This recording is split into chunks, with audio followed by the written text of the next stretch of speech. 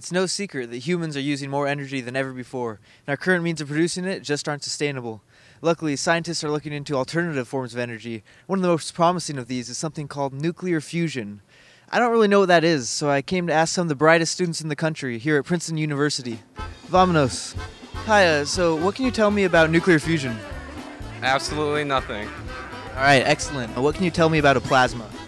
Sounds like plasmid. All right, that's that's something. So, can you tell me anything about a plasma? Plasma is like a kind of blood. Okay, so do you know anything at all about plasma?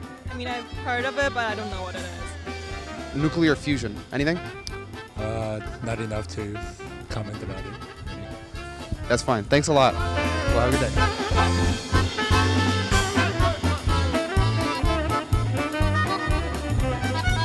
Прости, прощай, Одесса, мама, Мне не забыть Твой чудный вид.